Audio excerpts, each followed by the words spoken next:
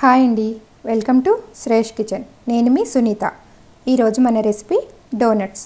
ఈ కొలతలు టిప్స్తో డోనట్స్ చేస్తే బేకరీ స్టైల్ డోనట్స్ను ఇంట్లోనే ఈజీగా చేసుకోవచ్చు.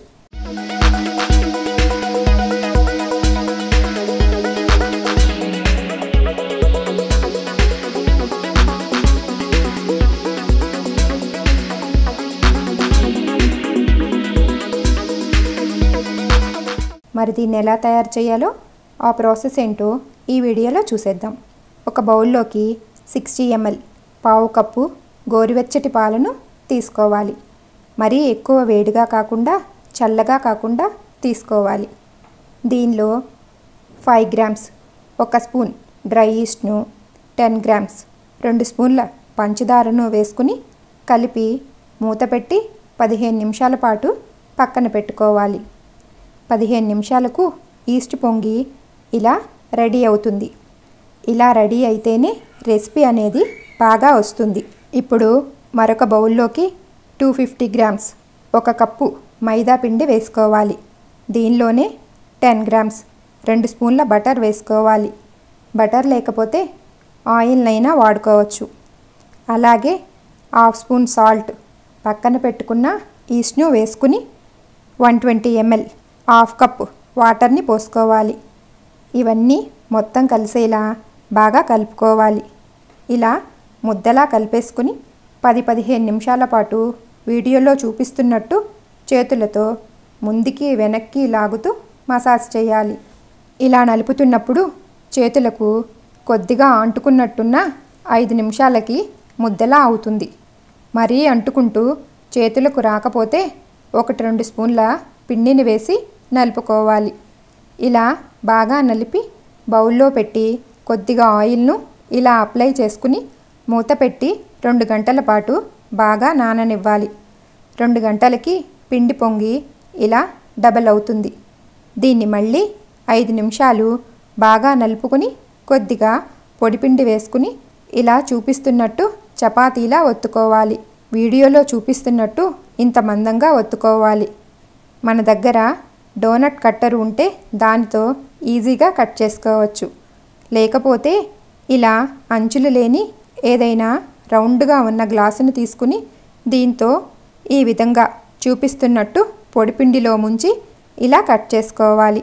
లోపల చిన్న హోల్ పెట్టుకోవటానికి ఇలాంటి సిరప్ క్యాప్ని కానీ ఏదైనా బాటిల్స్ క్యాప్ను కానీ తీసుకుని ఈ విధంగా లోపల ఇలా హోల్ పెట్టుకుంటే పిండి ఈజీగా వచ్చేస్తుంది.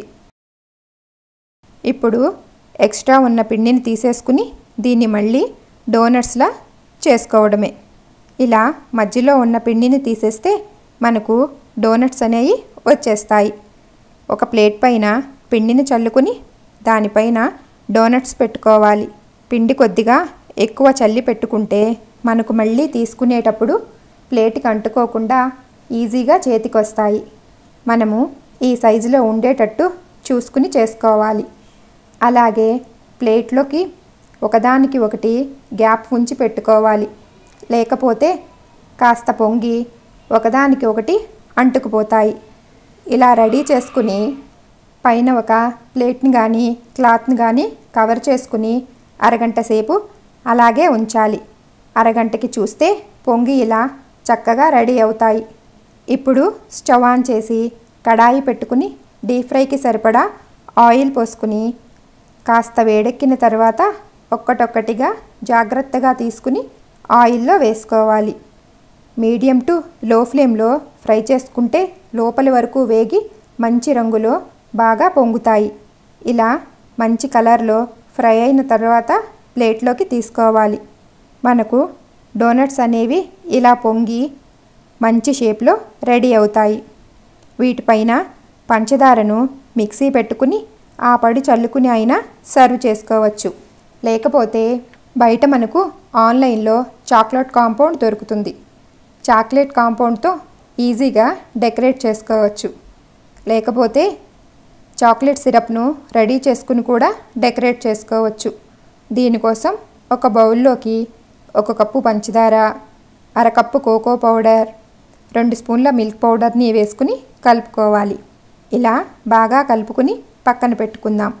ఇప్పుడు స్టవ్ ఆన్ చేసి ప్యాన్ కానీ ఏదైనా గిన్నెను కానీ పెట్టి దానిలో కొద్దిగా వాటర్ను పోసుకోవాలి.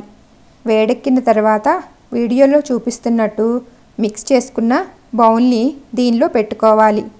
దీనిలోనే రెండు మూడు స్పూన్ల వాటర్ పోసుకుంటే మనకు ఈ మిక్స్ అనేది త్వరగా కరిగిపోతుంది. లేకపోతే కరగటానికి చాలా టైం పడుతుంది. కనీసం అరగంటైనా పడుతుంది.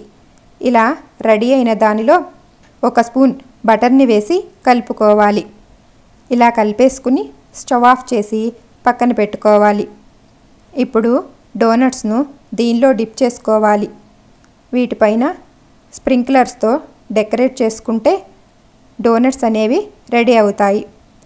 ఇలా మనకు నచ్చినట్టు డెకరేట్ చేసుకుని సర్వ్ చేసుకోవటమే. ఈ రెసిపీ నచ్చినట్లయితే లైక్ చేయండి షేర్ చేయండి. మరిన్ని వీడియోల కోసం మా ఛానల్ను సబ్స్క్రైబ్ చేయండి.